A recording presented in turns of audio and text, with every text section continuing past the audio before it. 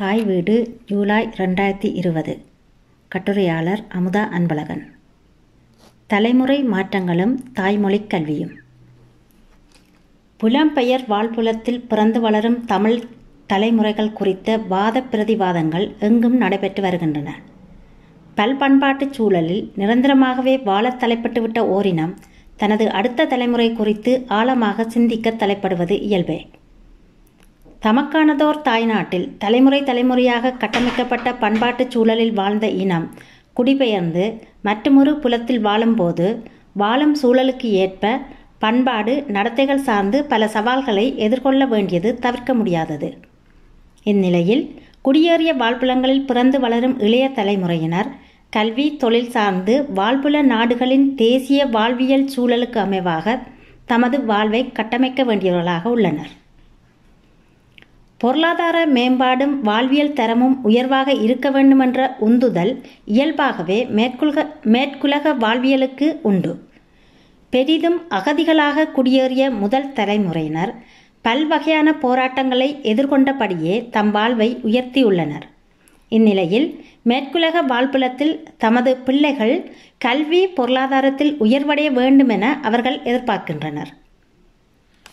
கணிசமான இளைய தலைமுறையினர் கல்வியில் சிறந்து விளங்கி உயர் தொழிலை பெற்று வருகின்றனர். சுவிட்சர்லாந்து டென்மார்க் நோர்வே கனடா போன்ற நாடுகளில் எமது இளைய தலைமுறையினரின் கல்வி எழுச்சி அந்நாட்டு சமூகங்களாய் சமூகங்களாலேயே வியந்து நோக்கப்படுகின்றது. இளைய தலைமுறையினரின் இளைய தலைமுறையினரில் சிலர் வணிகத்துறையிலும் மேம்பட்டு தேசிய அளவிலும் சர்வதேச அளவிலும் உயர்ந்து வருகின்றனர். இன்னும் வாழ்புல அரசியலில் தடம் பதித்து வருகின்றனர். இவ்வாறான இளைய தலைமுறையினரின் வளர்ச்சி போற்றுதற்குரியது. இவர்களின் வளர்ச்சியின் வழியே மூன்றாம் தலைமுறையும் சிறப்பாக தம்மை கட்டமைத்து வருகின்றது. இந்நிலையில் எழுகின்ற முதன்மையான வினா வளம் பல பெற்று வளரும் தமிழ் தலைமுறைகள் தமிழியல் பண்பாட்டை பின்பற்றி செல்லுமா என்பதே. கடந்த பத்து ஆண்டுகளுக்கு மேலாகவே இவை தொடர்பான வாத பிரதிவாதங்கள் நடைபெற்று வருகின்றன. உருவாகும் புதிய தலைமுறைகள் தமிழர் பண்பாடு சார்ந்த வாழ்வை தொடர வேண்டுமெனில் பண்பாட்டு விழுமியங்கள் மரபுகள் நடத்தைகள் என்பவற்றை தெரிந்திருத்தல் வேண்டும். குடியேறிய முதல் தலைமுறையினர் தமது வாழ்க்கை முறையினூடாக அடுத்த தலைமுறைக்கு அவற்றை கற்றுக் கொடுத்தனர். இளைய தலைமுறையும் இயல்பாகவே அவற்றை பின்பற்றியிருந்தனர். பத்து ஆண்டுகளுக்கு முன் தாயகத்தில் நடைபெற்ற விடுதலை போராட்ட முனைப்புகள் வழியே புலம்பெயர்ந்தோரும் தம்மை தாயகத்துடன் இணைத்திருந்தனர். இந்த இணைப்பும் இளையோரும் தமிழியல் சார்ந்த பண்பாட்டு நடத்தைகளுக்கு துணை நின்றன. பரந்துபட்டு எங்கும் நடத்தப்பட்ட தமிழ் பள்ளிகளும் பண்பாட்டு செயற்பாடுகளுக்கு வலுச்சேர்த்தன தற்போது ஏற்பட்டு வரும் புதிய வாழ்வியல் சூழல் புதிய தேவைகள் குறித்தும் மாற்றப்பட வேண்டிய கட்டமைப்புகள் குறித்தும் ஆழமாக சிந்திக்க தூண்டுகிறது. புலம்பெயர்ந்தோர் வாழ்கின்ற வாழ்புலங்களில் இப்போது மூன்றாம் தலைமுறை இளையோர் வளர்ந்து வருகின்றனர். இவர்கள் இப்போது வளர்கின்ற சூழல் இயல்பாகவே தமிழியல் பண்பாட்டு நடத்தைகளை முழுமையாக அல்லது கணிசமாக வேணும் கற்றுக் கொடுக்கும் வல்லமையை இழந்து வருகின்றது. மூன்றாம் தலைமுறை தமிழ் சிறார்கள் சிறுவயது முதலே மிகச் சரளமாக வாழ்புல மொழியை பேசவல்லவர்களாக வளர்ந்து வருகின்றனர். அவர்களின் இரண்டாம் தலைமுறை பெற்றோரின் வீட்டு மொழியும் பெரிதும் வாழ்புல மொழியாகவே இருக்கின்றது. இச்சூழலில் அவர்கள் வாழிட நாட்டின் தேசிய பண்பாட்டு நடத்தைகளை பெரிதும் இயல்பாகவே உள்வாங்கும் சூழல் ஏற்படும். தமிழின் பண்பாட்டு நடத்தைகளில் இருந்து முதல் இரண்டு தலைமுறைகளை விடவும் சற்று அதிகமாக விலகிச் செல்லக்கூடிய சூழலாக இதை கருதலாம்.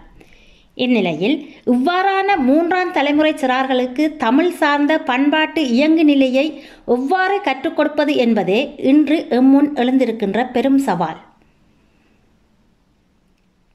ஏற்கனவே குறிப்பிட்டதைப் போல தாயகத்திலிருந்து வந்தோர் தமது வாழ்வினூடாக அடுத்த தலைமுறைக்கு பண்பாட்டு சிறப்புகளை கடத்தினர். அதை பெற்றுக்கொண்ட இரண்டாம் தலைமுறையினர் தமது மூத்த தலைமுறையைப் போன்று தமக்கு பின்னால் வரும் தலைமுறைக்கு அவற்றை எப்படி கற்றுக் கொடுக்கப் போகிறது என்பது குறித்த தெளிவான வரையறைகள் எதுவும் நம்மிடம் இல்லை. தாயகத்துடனான உறவு குறைவடைந்து வரும் இந்நிலையில் பண்பாடு சார்ந்த வாழ்வியலை இனிவரும் தலைமுறைகள் எவ்வாறு கைக்கொள்ளப் போகின்றன? மிகச் சிக்கலான இந்த வினாவிற்கு சட்டென முழுமையானதும் நிறைவானதுமான தீர்வை நாம் முன்வைத்துவிட முடியாது. எனினும் வாழிட நாடுகள் எங்கும் நடைபெற்று வரும் தாய்மொழி கல்வி கற்பித்தலை சமகால தேவைகளுக்கு ஏற்ப மாற்றியமைப்பதன் மூலம் சில வழிகளை நாம் உருவாக்கி கொள்ள முடியும். நாடுகள் தோறும் இயங்கி வருகின்ற தமிழ் பள்ளிகள் பெரிதும் மொழியை தொடர்பாடல் நோக்கில் பயன்படுத்துவதை இலக்காக கொண்டே இயங்கி வருகின்றன. கேட்டல் பேசுதல் வாசித்தல் எழுதல் என்பன இன்றைய வாழிட மொழிக்கல்வியின் முதன்மை இலக்குகள் ஆகும் இந்த இலக்குகளோடு பண்பாடுசார் வாழ்வியல் கல்வியை கற்றுக்கொடுக்க இப்பள்ளிகள் தமது கல்வி கட்டமைப்பை மாற்றியமைக்க வேண்டும். பண்பாடுசார் வாழ்வியலை கற்றுக் கொடுக்க இப்போது எமக்கிருக்கும் ஒரே தளம் தமிழ் பள்ளிகளே ஆகும் ஏனைய மொழிகளை விட எமது மொழி பண்பாட்டையும் வரலாற்றையும் கற்றுக் கொடுப்பதில் வல்லமை மிக்கது.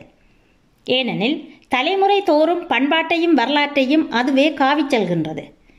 தமிழ் மொழியின் பண்பாட்டு சிறப்புகள் சிலவற்றை மிகச் சுருக்கமாக நோக்குவோம். இன அடையாளமாக திகழும் தமிழ். பல் பண்பாட்டு சூழலில் இனத்தினது முதன்மை அடையாளம் அதன் தாய்மொழியாகும். மொழியைக் கொண்டு இனத்தை அடையா அடையாளப்படுத்தும் வழக்கமே பெரிதும் நிலவுகின்றது. வாழும் நாடுகளில் இனத்தின் பெயரால் அழைக்கப்படும் நாம் மொழியாலேயே ஏனையோருக்கு அறிமுகமாகின்றோம். மொழியே எம் முகவரியாகின்றது. தன்னாட்சி கொண்ட ஒரு நாடு எமக்கில்லாதிருக்கும் ஒரு பொழுதில் எம் முழுமை அடையாளம் மொழியே என்பதை உணர்த்தல் வேண்டும். எமது அடையாளங்களை தலைமுறை தோறும் காவிச் செல்வதும் தமிழ் மொழியே. இவ்வுணர்வினை தாய்மொழி கல்வியூடாக இளம் த இளம் தலைமுறையினருக்கு ஊட்டுதல் முதன்மையான பணிகளில் ஒன்றாகும். உன்னதமான தொடர்பாடல் மொழி. வாழ்புலங்களில் தாய்மொழி வாயிலாக தொடர்பாடல் குறைந்து செல்கிறது என்பது கண்கூடு. நாம் வாழும் நாடுகளில் முதன்மை மொழிகளாக வெவ்வேறு மொழிகள் உள்ளன. அவ்வாறான மொழிகளில் தேர்ச்சி பெறும் எம் அடுத்த தலைமுறை தாய்மொழியில் தொடர்பாடும் ஆற்றல் அற்றிருக்குமாயின் ஏனைய நாடுகளில் வாழும் தமிழரோடு எப்படி உறவாட முடியும்? பல நாடுகளிலும் வாழும் தமிழர் தம்முடைய தொடர்பை பேடுகின்ற பொது மொழி தாய்மொழியாகும். தாய்மொழியில் தொடர்பாட வல்ல ஆற்றலை இழந்து விடுவோர். கால ஓட்டத்தில் ஏனைய ஆட்புலங்களில் வாழும் தமிழரது தொடர்புகளை இழந்து இன அடையாளம் மறந்து தாம் வாழும் நாட்டுக்குரிய குடிமக்களாகவே மாறிவிடுவர். வாழ்வியல் மொழி. தாய்மொழியானது பல்வகையிலும் மக்களால் பயன்படுத்தப்படும் நிலையில் வாழ்வியல் மொழி எனப்படுகின்றது. மக்கள் தேவைகளுக்கேற்ப மொழியையும் மொழி வழி கற்றறிந்த உற்றுணர்ந்த விடயங்களையும் பயன்படுத்துதல் இதன் வழிப்படும். மக்கள் தம்முடையேயான தொடர்புகளை தாய்மொழியில் தடையின்றி மேற்கொள்ளுதல் தாய்மொழி வழி உணர்வுகளை புரிந்து வெளிப்படுத்துதல் தாய்மொழியை தேவைக்கேற்ப முறையாக பயன்படுத்துதல் பல்வகை வடிவங்களிலான சிறந்த படைப்புகளை உருவாக்குதல் என்பன வாழ்வியல் மொழியின் சிறப்பு நிலைகளாகும். அன்றாடம் பயன்படுத்தும் மரபுச் சொற்களும் பல மொழிகளும் தொன்மை வழக்குகளும் கூட வாழ்வியல் சிறப்பை சுமந்து செல்கின்றன. பண்பாட்டு மொழி. பண்பாட்டு மொழி எனும் சிறப்பு எல்லா மொழிகளுக்கும் கிடைத்து விடுவதில்லை. மிக நீண்ட வரலாற்றை கொண்ட ஓரினம் தொடர்ச்சியாக தொடர்பாளர் கூடாக பண்பாட்டை காவியும் பேணியும் செல்லும் ஒரு மொழியே பண்பாட்டு மொழி எனும் சிறப்பை பெறும். தொடர்பாளர் தொடர்பாடல் எனும் எல்லை கட் எல்லை கடந்து மரபுகள் விழுமியங்கள் பண்பாடு கலை வரலாறு நம்பிக்கைகள் வழிபாடுகள் என்பன போன்ற இனத்தின் சீர்மைகளை தன்னகத்தே தாங்கி நிற்கும் ஒப்பற்ற தொல் சீர்மொழி தமிழாகும். எம் மூதாதையர் காலங்காலமாக உருவாக்கி சேகரித்து வைத்திருக்கும் செல்வக் களஞ்சியத்தின் வாயில் தமிழ் மொழியே. தாய்மொழியை விட்டு விலகிச் செல்வோர் எம் அரிய செல்வ செல்வக் களஞ்சியங்களையும் துறந்தே செல்கின்றனர்.